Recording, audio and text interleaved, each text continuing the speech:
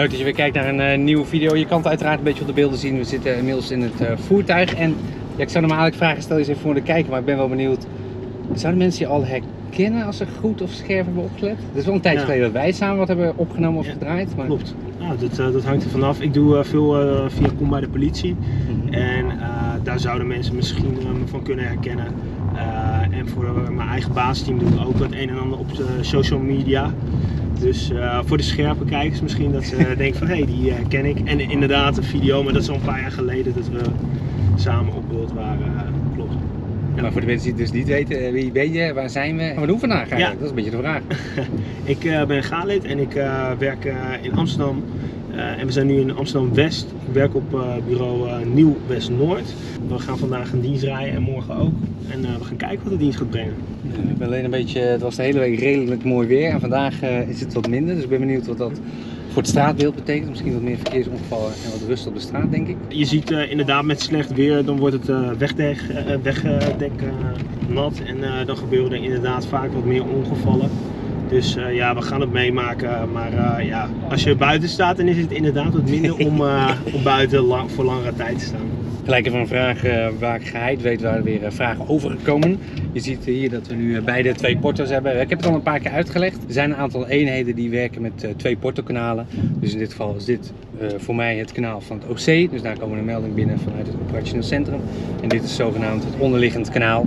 Dus het kanaal waar we denk ik striktelijk kunnen praten en met de bureau denk ik. hè? Ja, dat klopt. Dus ze kunnen wat makkelijker en vrij praten. Dus jullie vragen er elke keer weer naar. Dus bij deze hopelijk nou, weer wat uitleg daarin. Vooral tijdens bepaalde incidenten is het makkelijk hè, als, eh, als we het ergens afzetten of zo. We kunnen onderling praten, zo eh, kan de meldkamer gewoon de meldingen uit blijven geven.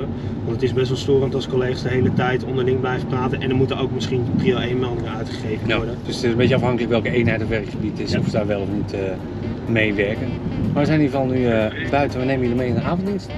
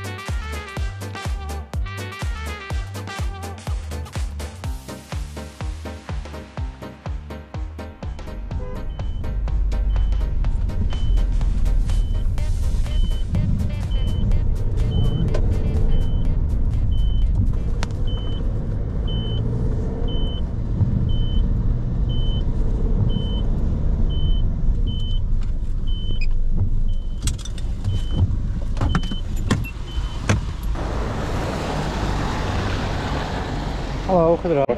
Dit is mijn rijbewijs. Zag u het stopteken niet? Ja, maar dit is niet formeel, want ik heb niks gedaan. Dus, uh, U, wij rijden 8 uur, dan bent u verplicht te stoppen, maar u had het wel gezien, u, u wilde gewoon niet stoppen. dan ben ik niet van die gestopt. Als ik goed daarom heb ik niet gestopt. En dat ik niet stil was voor mij niet duidelijk dat het van is. Oké, maar nou ja, ik vind het een raar verhaal. Eh, maar goed, daar wilden we even aanspreken, want Er zijn heel veel vakken vrij en dan uh, moet u verbaasd even dat u stopteken niet had. Ja, zeg maar, aanlopen voor mijn auto, dus ik, kon, ik moest stoppen. Ik kon niet Ja. doorrijden en dat ze voor me stond. raar verhaal. Hey, ik wens u wel een fijne dag verder.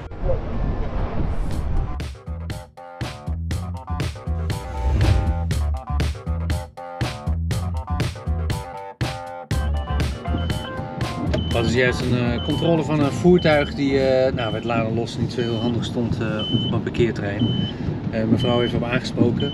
Ze vond wel dat het vol- volgteken in eerste instantie niet voor haar was, of stopteken moet ik zeggen. Uiteindelijk begreep ze het wel. Nu nemen we even een ander voertuig mee, een bestelbus die stond voor het verkeerslicht wat op rechtdoor stond. En uiteindelijk toch links afsloeg. Dus we gaan meneer even aanspreken en vragen wat daar de reden van is. En hoe dat zit. Ik heb het helaas net niet in beeld, want het gebeurde voor ons. Dus ik had de camera net iets later aan. We gaan het even zien.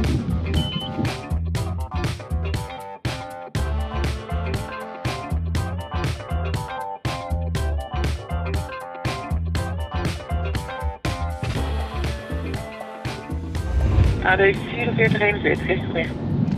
Ja, hij wilde even meerijden op de Haarlemmerweg, eh, als het goed vind. Ja hoor, geen probleem, ga ik doen. Eh, oproep aangenomen, bla, ambu, auto, fietsen. meneer op leeftijd. Mevrouw staat er niet bij.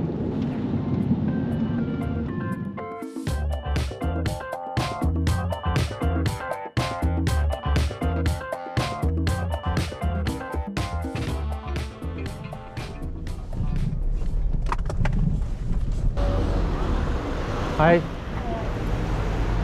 Wat eh, moet er nog gebeuren? Autofietsen. Ja? Is op de rest nog niet te zeggen. Wat ik net voor, maar voor ja, niet hoor. Thuis of zo? Did you see anything? No, I came here and he, was there. So Ah, okay. there. So you I didn't see it. how it happened? No, Oh, okay, thank you. not at all.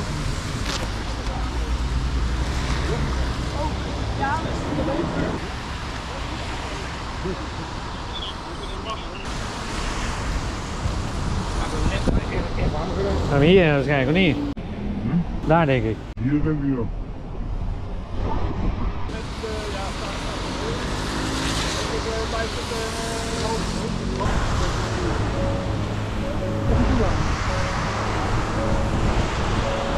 Hij vraagt of wij hem af kunnen zetten bij het Van Slingelandplein. Dat is hier om de hoek, dat willen wij best doen helpen. Dat is de, waar de thuisbezorgd zit en allemaal. Terugkoppeling hebt van de LE, dan komt hij terug ook. Ja, dankjewel. Heeft hij, heeft hij een sleutel? Nee, maar die heeft die vriendlijn genomen, zegt hij dan.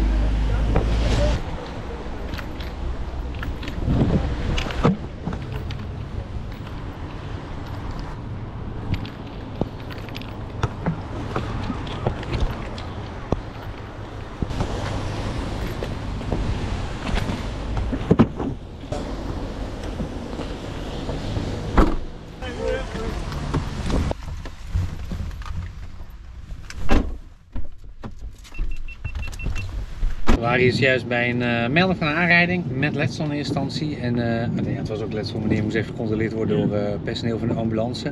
Is er in die zin goed afgekomen. Hij heeft wat, nou, wat schaafwonden en blauwe plekken. Wordt eventjes weggebracht door de heren van de ambulance.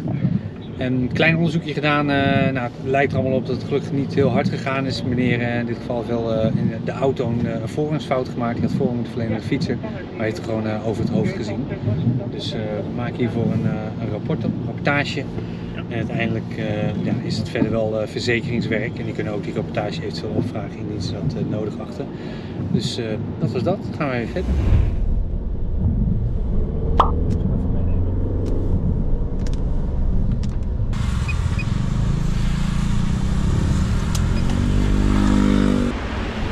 Hello sir. Ah, do you have a driving license on you? Yep. was saying that it's not allowed to drive with your, with your scooter on the road. You need to go on the bicycle roads. Okay, sir, we will make a warning in the police station. it's not it's filed now so if i do it again it's, yeah, it's we gonna- yeah. We Uh, make a registration, a police warning. yeah Yes? Okay, bye bye.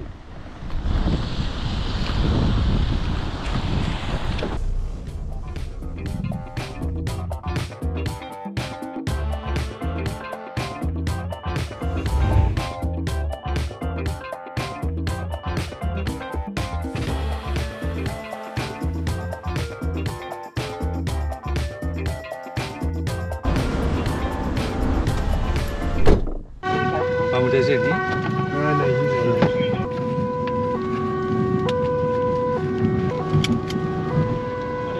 verkeersregelaar. Meneer is aangereden, verkeers, uh, verkeersregel is aangereden. Uh, meneer is aangehouden door burgers. De man loopt nu weg. Oh, hm. In ieder geval met spoed onderweg. Ik ben heel benieuwd. Uh, een rare melding. Hij is wel aangehouden, maar loopt ook weg.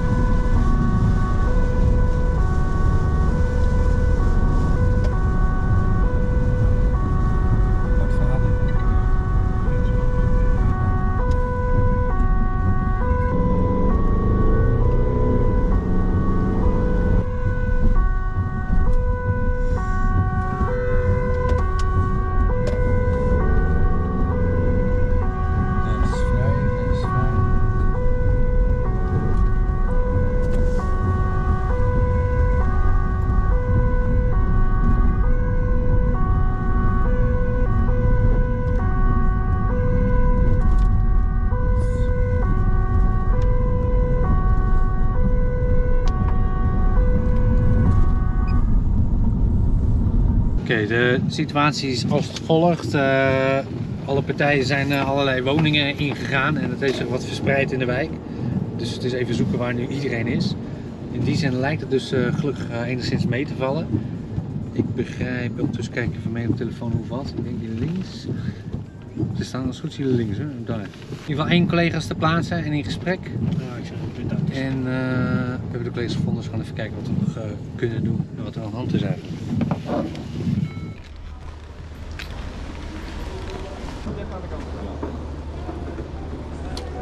Die is op draaien. Laat mij even. Raakt op zijn, op zijn arm. Ja, dus die heeft dat ook gevoeld. Het punt is waar we nu op uitkomen is, als u met een voertuig inrijdt op een persoon, komen we uit een poging doodslag.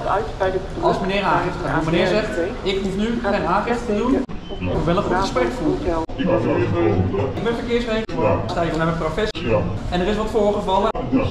Nou ja, hij moest aan de kant springen om hem te ontwijken. Het ging maar, hij zegt ongeveer een gangetje of 20. We hebben oogcontact gehad, het is opzettelijk. Ik denk dat we hier een bemiddelend in moeten zijn. Ik denk dat u wel 1-0 achter staat. Ehm, weet je, als die aangifte er wel was gekomen, dan was u mee gaan voor poging doodslag. Ja, Nou, meneer wil uiteraard ook praten. Eh, er is daarna nog wel wat gebeurd met eh, dat er eh, zeven mannen achter hem aan kwamen rennen en op autodaken begonnen te slaan. Dat heeft hem wel getriggerd waarom hij nu hoog in zijn emoties zit. Nou, dat, dat, hij was daarvoor al hoog in zijn emotie. Nou, Maar dat is goed. perfect, en dan komt het wel weer goed. Ja, ga gewoon open het gesprek in en eh, laat elkaar vooral even uitpraten. sluit niet uit dat ik ook, eh, wat voor mij een klein beetje op scherp stond, zeg maar. Wat voor mij een beetje de drie. Ja, kleine kinderen. Ja, kleine kinderen.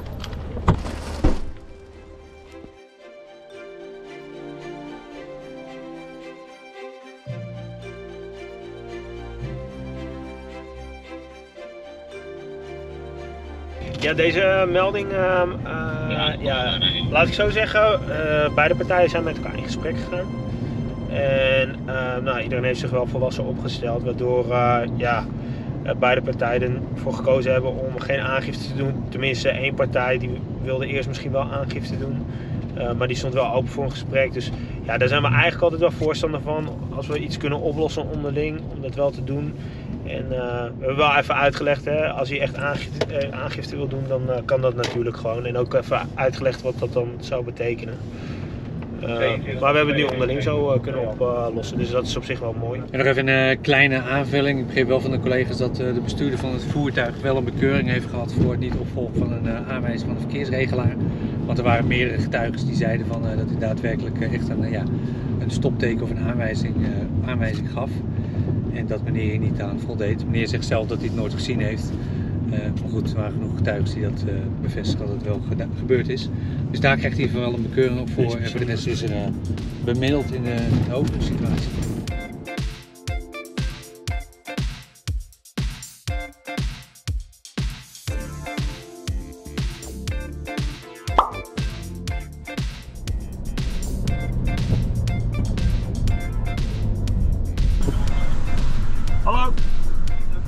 Ik even stoppen?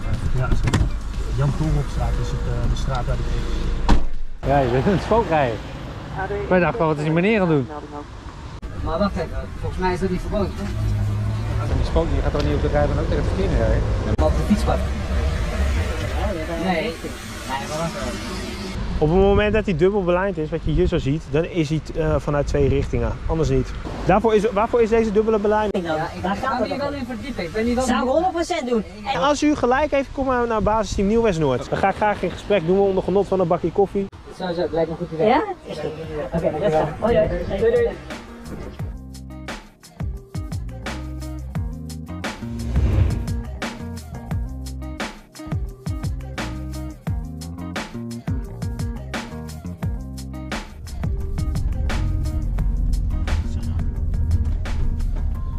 Wat is er met je oog gebeurd, Kira?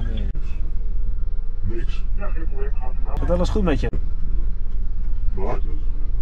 Ja, je bent wel bloed. Doet hij uh, op je vestje? Heeft u iets van haar identiteitsbewijs? Even uit, hè? Ik maak me wel een beetje Zorg om je. Ja. Maar is het net gebeurd? Waar dan? Hier.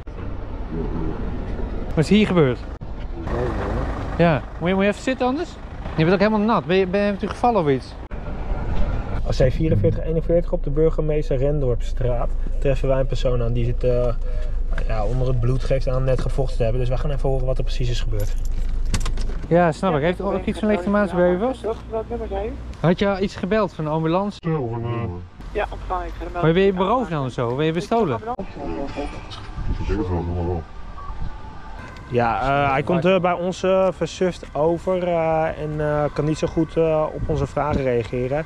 Heeft ook een oog wat opgezwollen is, dus graag een ambulance deze kant op. Nee, klopt, maar ik wil even zeker uitsluiten dat jij gewoon normaal je weg richting de spoedeisende hulp kan vervolgen. Je maakt op mij wel een beetje een slow indruk en dat kan komen omdat je misschien buiten bewustzijn eh, bent geweest. Heb je iets van alcohol of drugs? Kan je me vertellen waarom eh, je gevochten hebt? Wat zeg je? Je weet het allemaal niet. Waar is de mishandeling geweest? Hier.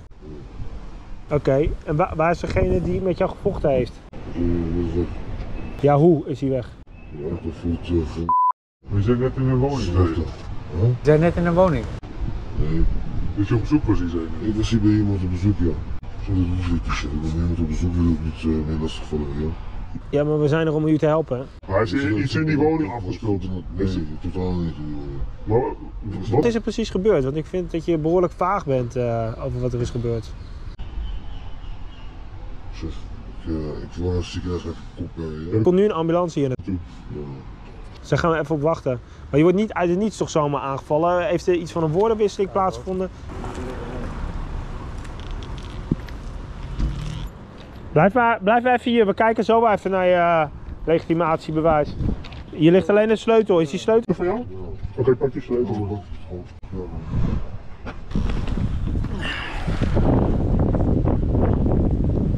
Heb je drugs gekocht? 4401 AD, 4401 Dit is eh, een bolletje drugs. Ik zie hier ook bloed liggen. Hier bloed. Ja, ontvangen 4401. Mag u positie innemen uit buiten?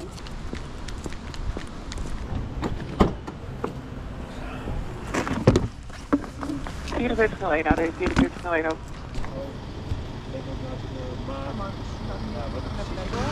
Hier, 41, 44, 01 staat nu onderweg ook.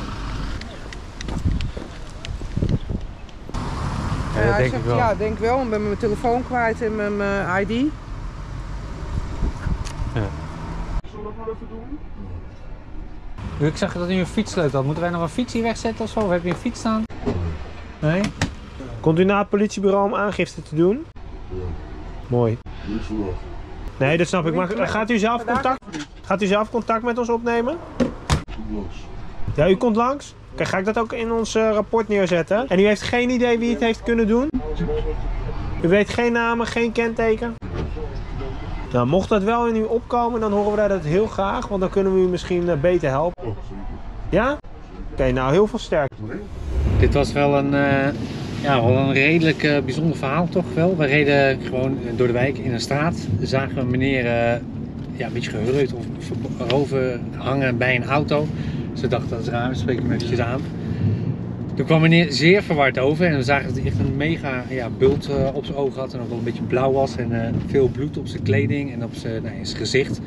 We zijn toen wel even wat meer het gesprek aangegaan. Meneer klaagde ook wel van eh, pijn en was onderweg naar het ziekenhuis. We hadden wel het idee van er is iets meer gebeurd dan meneer wil zeggen. Nou, mondjesmaat kwam er steeds meer informatie. Blijkt dus nu, nadat we een aantal getuigen hebben gesproken die aanwezig waren, dat meneer door een eh, groep personen in elkaar is geslagen. Vermoedelijk ook eh, ja, bij een auto, eh, is een auto afgespeeld, wat niet helemaal duidelijk is. In ieder geval, getuigen verklaren dat ook wel. Meneer zelf wil eigenlijk vrij weinig zeggen of ja, vertellen wat er nou precies gebeurd is. Nou was hij aan het zoeken naar een aantal goederen die hij kwijt was geraakt, zoals hij zelf zegt. Hij zegt dat hij zijn telefoon is eh, kwijt, zijn paspoort en andere dingen. Nou, toen zijn we een beetje mee gaan zoeken op die plek. Trof wel, hij zegt ik heb mijn fietssleutel gevonden. En ja, nog geen halve meter naast de fietssleutel zag een klein zakje met een soort eh, bolletje drugs erin. Dus in eerste zei meneer dat het niet van hem was. Eh, wat opviel is dat het zakje wel droog was en de weg verder nat, dus het had daar niet heel lang gelegen. Later in de ambulance wilde hij het eh, toch graag terug hebben. Hij zegt zelf dat het een pijnstiller is. Nee, we hebben toch sterk het vermoeden dat het wel een drugs is. Dat hebben we in beslag genomen en laten we in ieder geval vernietigen. En dan hoe nu verder? Ja, we leggen in ieder geval wel alles vast. En dan is het even ook een beetje afwachten wat deze meneer wil. Want uiteindelijk als hij geen aangifte doet, dan wordt het in die zin eh, lastig om er echt een strafvervolging in te gaan stellen of een onderzoek te starten. Maar wel zit hier natuurlijk een hoop informatie in die we vast kunnen leggen en misschien voor in de toekomst eh, bruikbaar kan zijn. Dus we gaan het in ieder geval wel vastleggen en even afwachten hoe dit verder eh, ontwikkelt. Zeg, Vergeet ik nog wat? Ik maak het hele verhaal. Ja. Of, ja. Nee, ja, bijzondere casus als je zo mensen aantreft op straat. Ehm, ja, weet je, dan, eh, dan is er echt wel wat gebeurd. En als je dan zo weinig informatie daaruit krijgt, dat is toch bijzonder. eh. dus het is wel natuurlijk ook voor hem zelf vervelend. Maar ja, het is voor ons heel lastig om zo iemand dan te helpen. Omdat we echt wel informatie nodig hebben wat er precies is gebeurd. Dus eh, ja, bijzonder, bijzonder verhaal.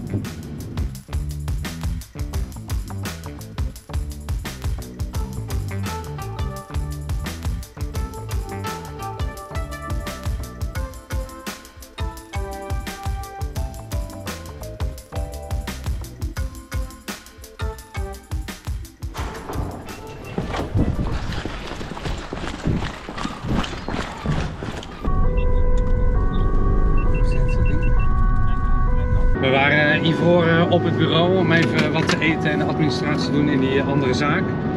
Inmiddels hebben we een andere spoedmelding gehad. We moeten even inloggen op een, eh.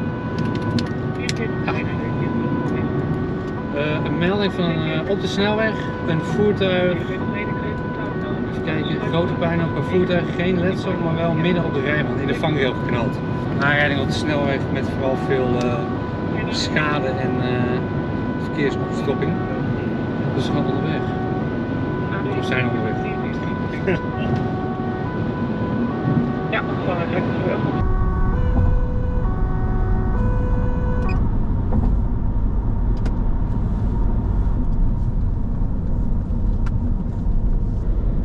Hele lege snelweg.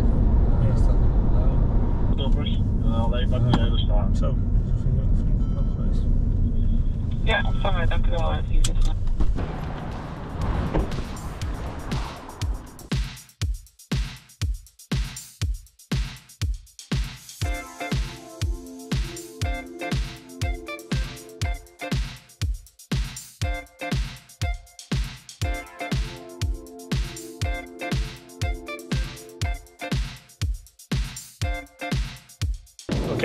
melding van dat een eh, voertuig eh, ja, uit de bocht was geschoten. En ja, de beelden liegen er niet om. Dat eh, was inderdaad best wel een flinke klapper die de bestuurder en de bijrijder hebben gemaakt.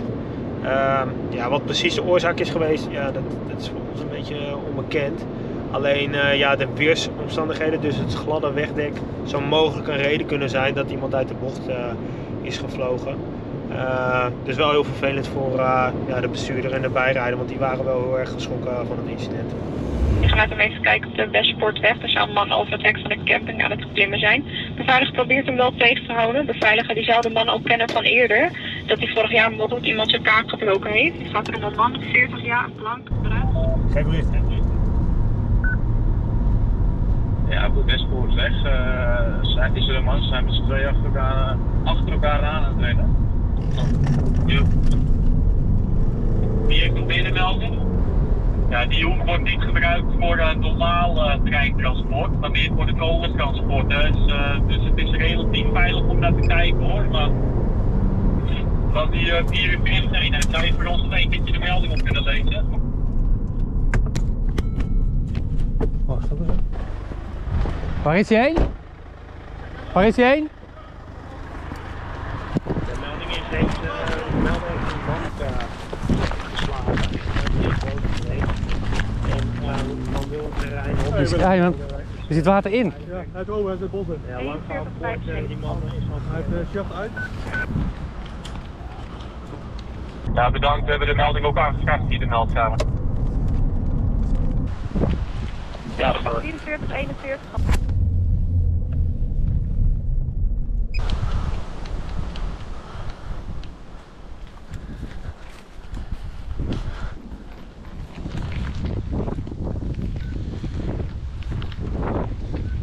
Is hij daadwerkelijk over het hek geweest of niet?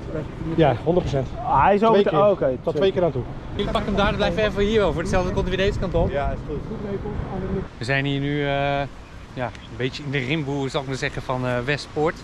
En uh, hier achter me, wat zit hier achter allemaal? Een beetje het havengebied geloof ik hè? Ja, klopt. Uh, je hebt uh, de kolenopslag hier zo en je hebt nog een hoop andere bedrijven. Ja. Het is best wel groot hier moet ik zeggen. Nou het verhaal is hier wel dat er dus een meneer eh, over een hek was geklommen en die was betrapt eh, door de beveiliging of gezien. En eh, sloeg daardoor op de vlucht. Inmiddels is hij de weg overgestoken. Hier taluut af zullen we maar zeggen en door het water het bos ingerend. Uh, dat blijft een beetje lastig, omdat tot nu toe heeft die man strafrechtelijk natuurlijk nog niet zo heel veel gedaan, behalve verboden plaatsen betreden. Maar goed, de collega's zijn even in het gebied, wij staan even aan deze kant. Proberen hem nog even te, vinden, maar het is best wel een groot gebiedje. Ondertussen wachten we het even af.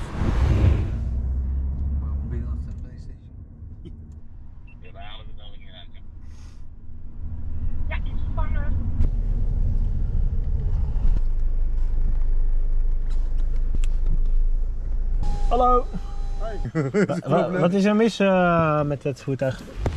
Ik denk ik kleuren-stuk. Ah, oké. Okay. Ja. Uh, vervangen. Hm. Oké, okay, is goed. Okay, Rustig aan. Okay. Hoi, hoi. hoi. Ja, komt goed.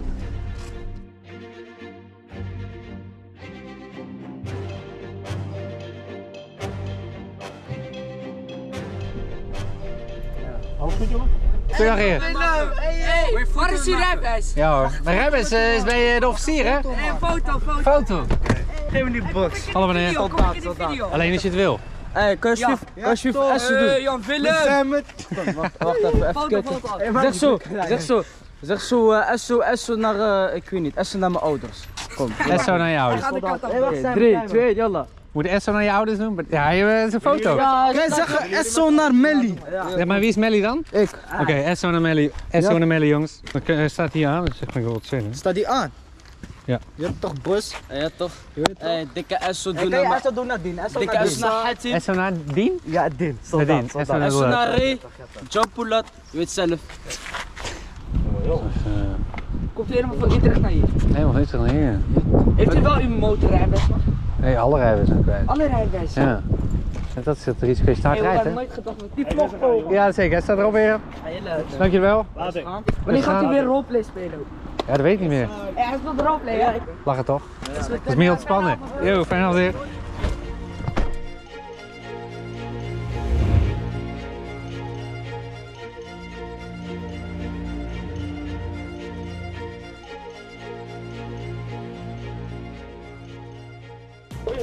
Hallo politie.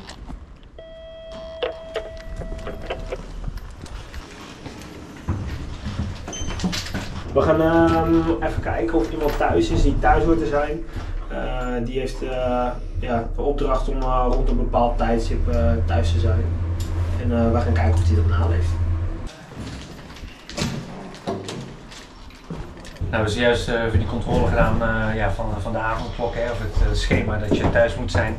En nog even misschien goed vermelden, dit soort maatregelen worden vaak wat bij jeugdige ja, personen opgelegd, zodat ze niet helemaal gelijk vast moeten zitten, maar dat ze vanuit huis nog wel een ding kunnen doen onder strengere voorwaarden. Hè, dat ze bijvoorbeeld alleen naar werk of school mogen en een andere tijden thuis moeten zijn. Dus dat hebben we net gedaan en dat noteren wij. En dat ziet de reclassering op het moment dat iemand daarin de fout gaat dan uh, kan justitie uh, ja, andere maatregelen nemen. We zijn inmiddels uh, weer aan het bureau. We moeten even wat administratie doen. En we hebben net zojuist de briefing gehad. Ja. Zijn we aan het einde gekomen van deze video? Ja, was, het weer was niet ja, geweldig moet ik zeggen. Maar ja, op zich, we hebben, we hebben ook zelf werk gezocht. En we hebben hier en daar wel aangeleund qua meldingen. Dus, En dan wil ik jullie allemaal weer bedanken voor het kijken. Laat nog even een duimpje achter, abonneer. En dan zien wij bij jullie straks bij een tweede video. Ja, Want we gaan nog een tweede video maken. Later! Later! Joep.